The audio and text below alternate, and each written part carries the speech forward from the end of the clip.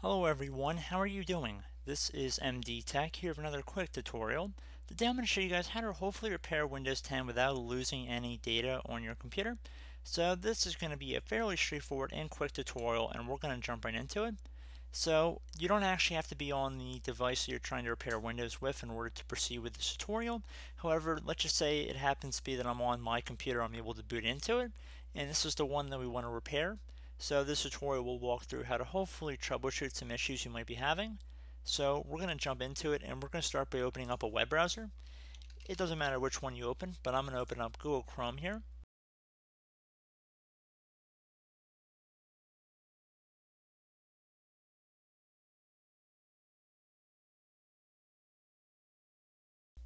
And now on to Google.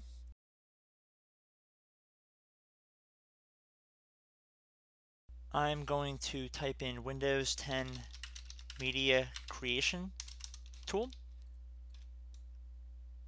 And once I've typed that in, I'm going to hit enter on my keyboard. So one of the best matches that comes up, and I would highly recommend you download it directly from Microsoft.com. At the time of this recording, it says Microsoft.com, download a Windows 10 disk image ISO file. There's other top links here as well, create installation media for Windows. These will achieve the same page results, I believe, just about the same. So I think this page might redirect to the first link here. So I'm going to select the first one here. And again, I'd recommend you double check, make sure you're downloading it from Microsoft.com, highly important. So we can see a little bit down the page, there should be something that says create Windows 10 installation media. To get started, you will first need to have a license to install Windows 10. You can then download and run the media creation tool. For more information on how to use the tool, please see the instructions below. And you just want to select download tool now. And it's about 17 and a half megabytes at the time of this recording, so it shouldn't be that long to download. Just want to be patient. And you want to open up the executable once it's done downloading. So it's going to ask, do you want to allow this app to make changes to your device? You want to select yes. And you can also close out of the web browser this time as well. You don't need that any longer for this tutorial.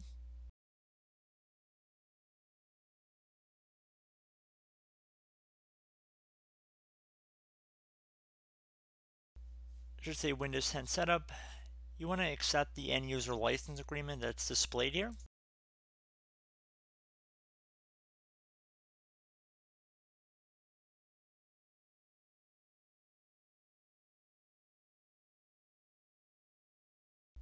It's going to ask what you want to do.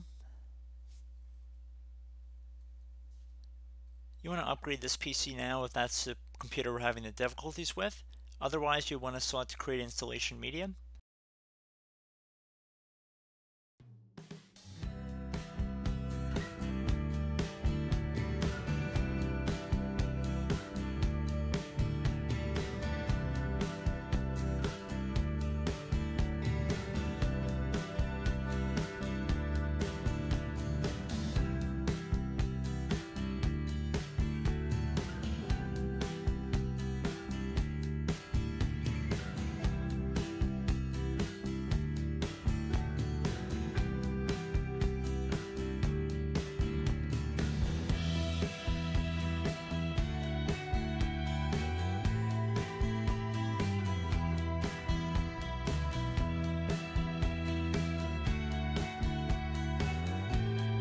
So this will take a moment, so just be patient.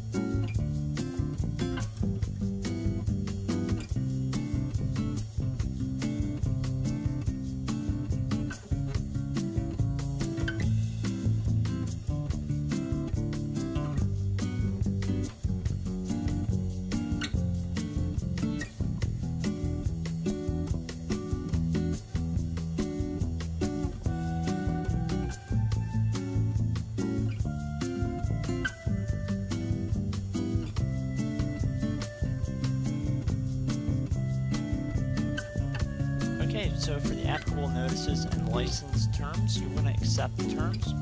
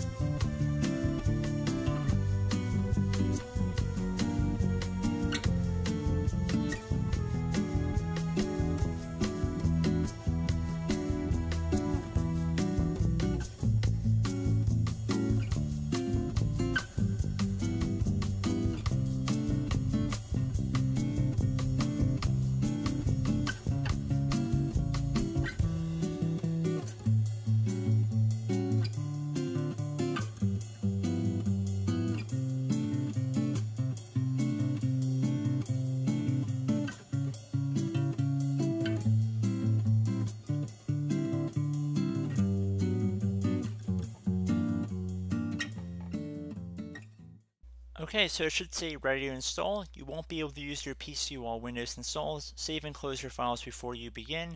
To recap, you've chosen to install Windows 10. If you're using the Professional Edition, it'll say Windows 10 Professional, as well as keeping personal files and apps. I recommend that you checkmark or click inside this change what to keep option underneath. So we have a few different options here. Like the one that you guys are probably looking for would be to keep personal files and apps. You will be able to manage your Windows settings. The second option is to just keep your personal files, and the last option is to do a complete reformat refresh. I would recommend that you back up any important documents, files, pictures, whatever, before you pursue with this tutorial, because even if you select keep personal files and apps, there's always a slim chance that something could happen to your computer, and you'll need to do a complete clean reinstall of the Windows 10 operating system. So I really do want to stress that point.